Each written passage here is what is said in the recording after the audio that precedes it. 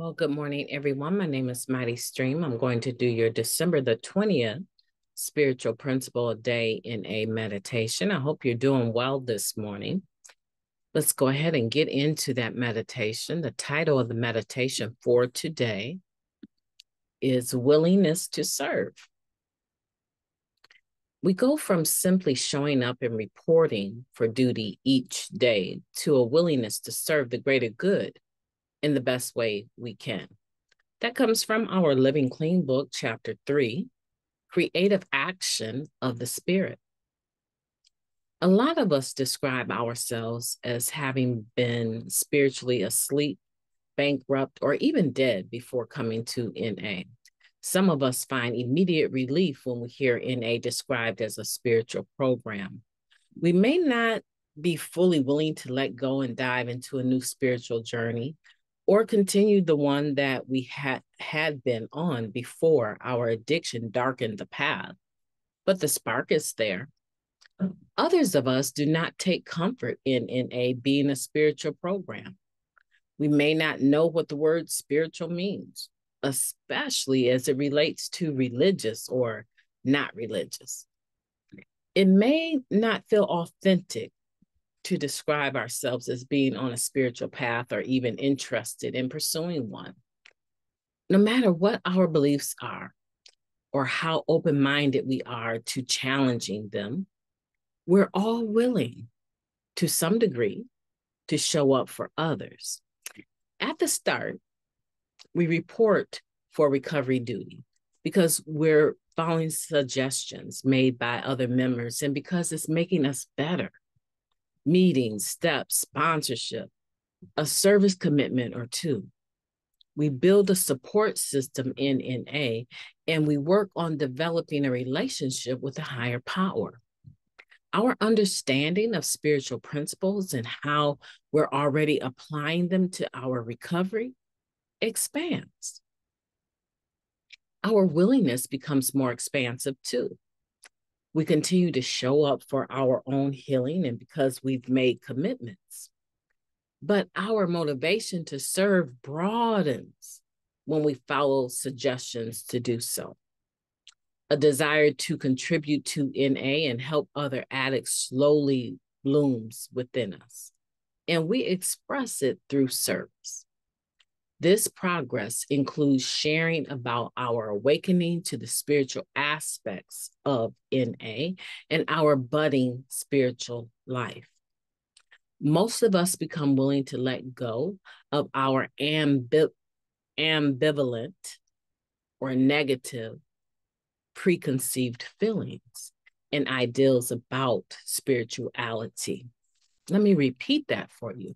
Most of us become willing to let go of our ambivalent or negative preconceived feelings and ideals about spirituality. Though we don't fully understand our transformation, many of us eventually can describe ourselves as spiritually awake, enriched, or alive, in no small part because of our willingness to serve. I'm willing to show up for my own well being. Am I also willing to do that for the greater good of NA? How will I demonstrate that today? Let's take a moment of silence, followed by the third step prayer. Moment of silence now, please.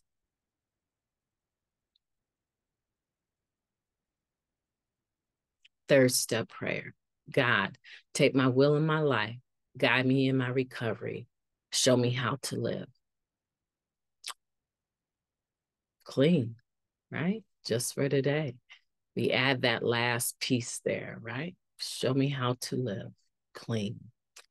So here we are, we're talking about willingness to serve and how being willing to be on a spiritual path, whether we define it as such or not, is really what Narcotics Anonymous is all about. We talk all the time about it being a spiritual program and not a religious one. But a lot of times we still in our minds are equating it with religion. And because we are doing that, we have a resistance to being a part of it or allowing ourselves to do any service work. At some point in time, I, I hate to break this to you, that at some point in time, you will need to concede to the fact that this is a spiritual program. Whether or not you understand the word fully is irrelevant. It's nice if we understand it, but from the moment we decide to put the drug down and surrender to the disease of addiction and pursue a life of recovery, our spirits begin to go from a negative direction into a more positive direction. Now, just how far we're willing to go in the positive direction may mostly depend upon us, but not completely. Not completely. And so, what am I saying about this first paragraph here? I'm saying that not that it's irrelevant, it's just not required for me to understand the word spiritual in order for me to benefit from this spiritual program. It's not required that I have a complete understanding of it.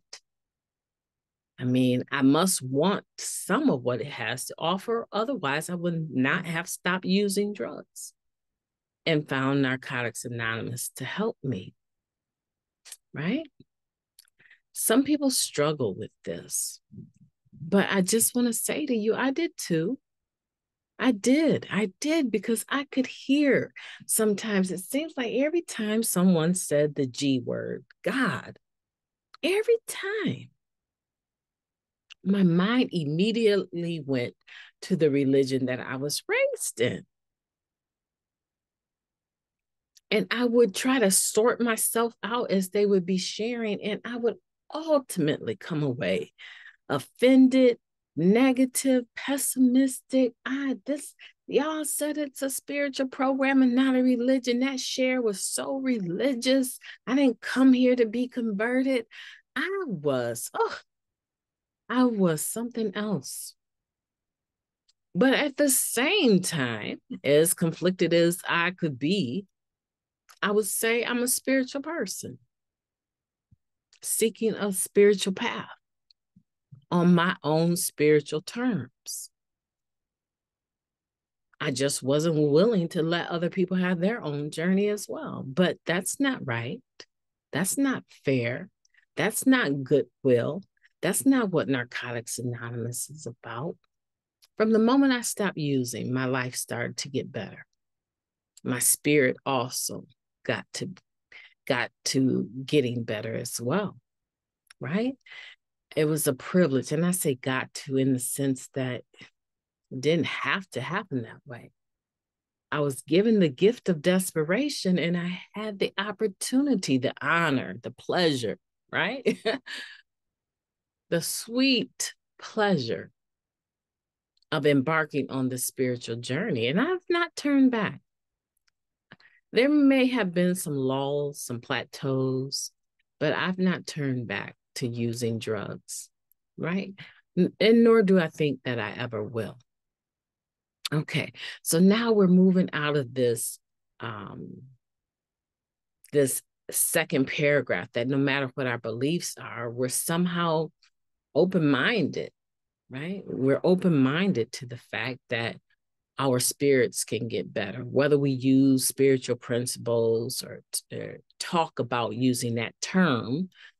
We're invested enough to be on the journey and we're benefiting from it, regardless to what words we use to describe it.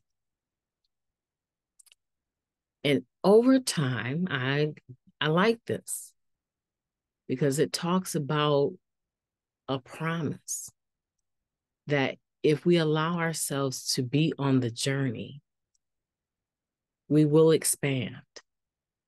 Things will broaden out for us.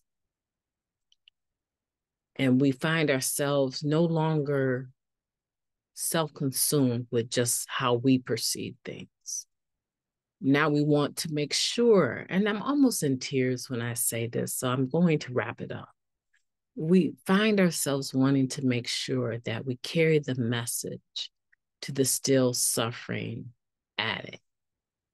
And we find ourselves signing up for service in ways that we thought we would never do. And we find that we're enriched. We are transformed. Our lives are improved as a result of service. And that unselfish part of us is the very fertile ground for new heights, new depths, new levels of awareness to be birthed in ourselves. That's huge. And I just want to recommend it to you. Yeah, a soft suggestion to do service work in any kind of way that you can add to the atmosphere of recovery I ask that you just do that because lives are definitely at stake. Oh, the work will get done with or without you now, right? The work will get done. Our rooms are full of people that have been given the gift of desperation that want to express their gratitude by showing up and reporting to the duty of recovery and giving of themselves so the work will get done, but it would be so much sweeter with you than without you. My name is Mighty Stream. I've enjoyed talking to you today. I hope that you have a beautiful day on purpose. I plan to talk to you tomorrow.